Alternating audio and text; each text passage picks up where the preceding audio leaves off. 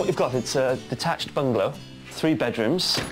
Uh, the current owner uses this as a living room, but it could be a bedroom. Lovely views. Ah, it's foggy outside. Yeah. It, it just, Not the best of days. Yeah.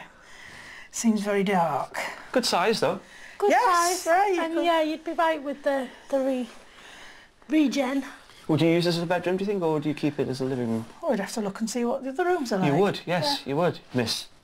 Should we do that now? Indeed. She's getting very stern with me. I'm a bit frightened. Actually, no, I like it. Oh. Down the hallway there's a large double bedroom, a single, as well as the family shower room. But we're going to check out the largest bedroom. Much brighter. This is this is a lot brighter, isn't it? Much bigger window. You could have your living room here, you see. Yeah, this is much better as a living room. And room. then look out across the fields and see the horses and the sheep. Exactly. Yeah. I can imagine on a really sunny day this room would be absolutely amazing, uh, especially with that view. I don't know, maybe then uh, at, at some point you could actually build maybe a conservatory. A something like conservatory was the first thing that I thought of. It's got that feel, hasn't it? Yeah. Do I sense that they're finally feeling the potential here? Let's see if the kitchen breakfast room will seal the deal. And uh, here it is. Oh, right, it's got some more modern units. Yes. Yeah. So It's been done up a couple of years ago. Yeah. This is a great space because uh, not only have you got the kitchen, you've also got the utility room there, good sized utility room, and a door leading out into the garden. So, do you like this? Um, It's doable. It's workable round. This bungalow has good potential for accommodation inside, and the outside space offers a great starting point to develop their flock. But how much is it going to cost them to get the perfect setup for all their animals? Okay, go, go on then. Um, how much do you think it's on the market for? I'm going to hazard a, a round figure just as a guess, say 200,000. 200,000. Okay, how about you? Um, I might go 210, but that would be for the outbuildings. I'm taking more of that into consideration. £210,000. Yeah. Ooh. It's on the market for £270,000. Right, let's go home. well, basically, the, you know, uh, the stamp duty um, barrier is at 250, so I think offers around 250 would probably be sensible. Um, so it's the top end of your budget, really. Go and have another look around. okay then, thanks. Something in there may change your opinion. Although I don't think it will. I honestly thought that this property had everything that they wanted. It ticked all the boxes. Okay, it didn't have a sea view, but we, we've ascertained that you won't get a sea view. But, you know, it's got three bedrooms, it's got amazing land, amazing outbuildings. I thought, well, it's going to be a definite cert. But it's not. It's not a belly dance, more of a belly flop. At £270,000, this bungalow is in a peaceful rural Devonshire location. It sits in over an acre of land, which already has the facilities for a small holding, including a range of outbuildings. Inside the property, there are three bedrooms, a living room, and a recently modernised kitchen, adjoining a huge utility room. But ultimately, this property is all about the animals. The style of the property may not be what they had in mind, but the land and outbuildings give them everything they've asked for. So the question is, can they see beyond the modern bungalow? All the yards is all absolutely perfect, absolutely what we need. Stables in here, it's got electric, got water, got places for sheep. Hay barn, garages, land right at the back of the house. Yeah, Just a shame that the house isn't quite right. it's just not for us, is it? Well, I just think that we're never ever going to be able to afford something that really is just right and it's going to be a real compromise to get something spot on. I suppose that there's got to be something out there that we will just fall in love with. So I suppose we just keep looking. So, did you enjoy that second look? Yeah. Yeah. I think it's time to take you girls back to Cornwall. Come on.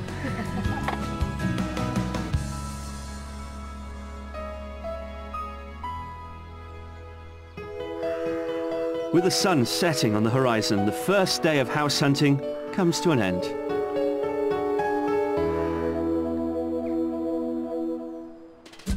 With a budget of £250,000, retired teacher Carol and her music-loving daughter Elizabeth want to leave their native Derbyshire and head south to live with their animals in the Cornish countryside. Our tour so far has taken them to two properties where their pets would be well catered for, but the houses haven't got them moving.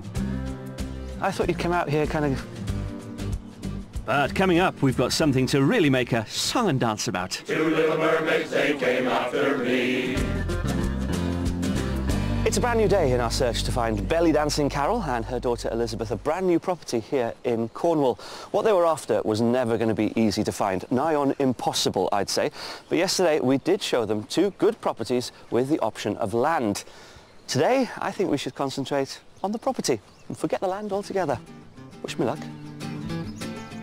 For the mystery package, we've come back to Cornwall, closer to the coast, and into the quiet village of Week St Mary, just seven miles south of the popular seaside resort of Bude. Week St Mary is an immaculate place in the countryside, full of well-kept cottages, and the village square has a range of shops, including a post office. There's also a frequent bus service for Carol, and Elizabeth can practice her board skills nearby at Widemouth Bay, which has a fantastic reputation for surfing. The mystery property doesn't have the land they wanted for the animals, but the house itself more than delivers. Let's just hope it wins them over. Welcome to the uh, mystery property. Right. Right. Why is it a mystery? Well, because it's not what we asked for. Well, maybe it is, maybe it isn't. Uh, so far we've had to compromise quite a lot because of land issues, haven't we? Well, here there's no compromise at all, okay? This is any. all about the house. Yes. But it's a house in an amazing development, two and a half years old, won loads of design awards. What do you think of it? Well, it looks like a nice, yeah, nice little property. You rent land at the moment as well, don't you? Yeah. So this is an option where you'd continue to rent land. Uh, Fine. what you've got here is just, uh, well, I think anyway, a really lovely house. Yes, it looks smashing. Let's have a look. Okay, come on. The mystery property is a modern, stylish, detached family home and really demonstrates that their budget can afford them a top quality house much closer to the coast. This is modern living, okay? In the countryside. you like it? Yeah. No sloping lines? Come on into the living room. What do you think? Well, it's uh, nice and bright and airy, isn't it? Now Nice doors out into the garden. Would your stuff, would your furniture fit in here? Yeah, there's plenty of room for the table. So you can imagine yourself in here? Oh, I could ma- imagine myself in here. Whether I could afford it that is another Oh, we'll get to that in a minute. You want to see Yeah. one room? Let me take you through to the kitchen. Come on, follow me. It's a huge move. All right, yes. You've got a lovely utility there as well. Very handy. Another door. Yeah, Out you to your your garage. washing Yeah. out, yes.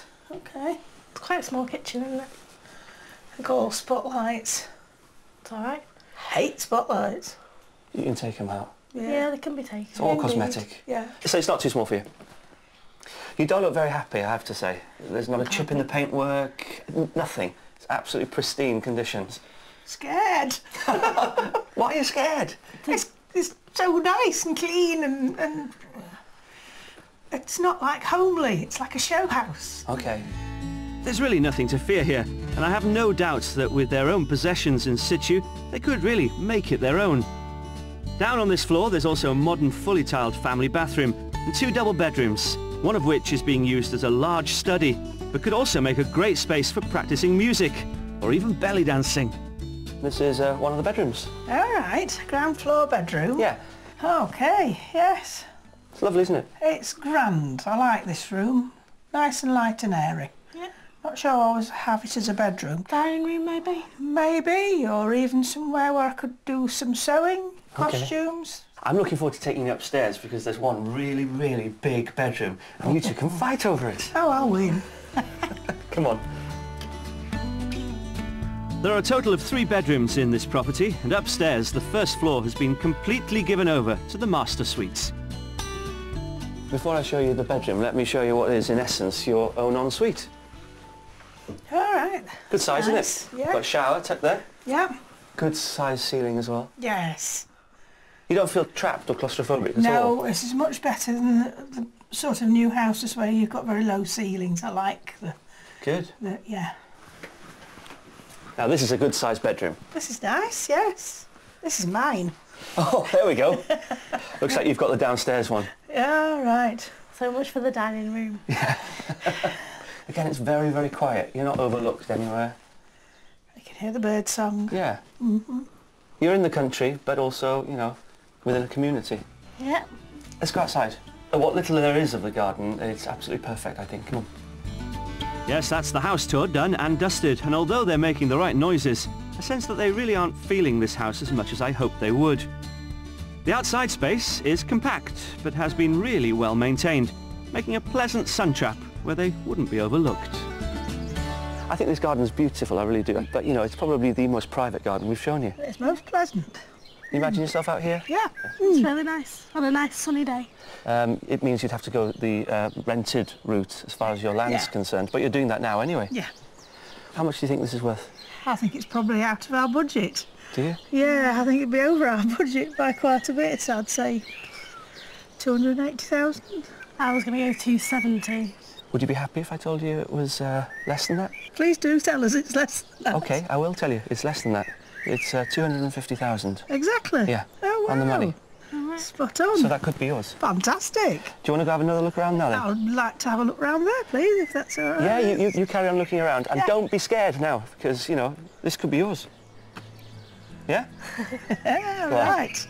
Shall we go Yeah, just go on. look, Yeah. have a look up here? I'll come and find you.